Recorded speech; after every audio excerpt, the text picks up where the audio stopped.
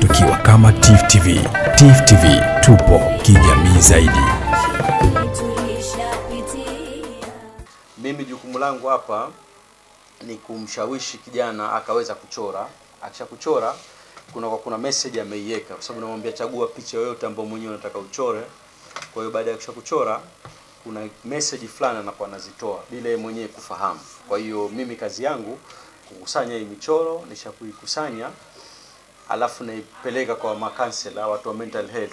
Kwanza nawaelezea mimi kuhusu hizi aina za rangi na maana zake na umchoro ndipo mie kwa huyu kijana, kwa nini akachora hivi.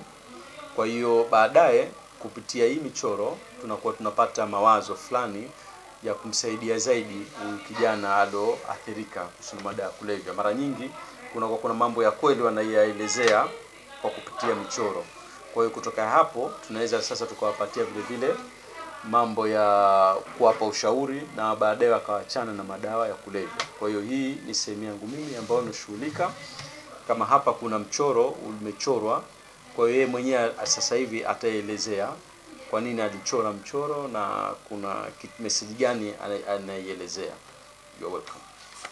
So here we have uh, a face of a man, and uh, around his uh, head you have uh, different colors. This is my one of my first watercolor practices.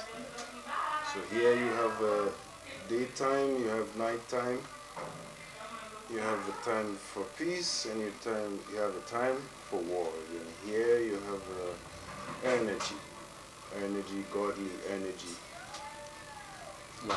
feeding your spirit. So in this drawing, it's uh, it's a totality of uh, human nature and the mind. Thank you. Thank you. Yeah.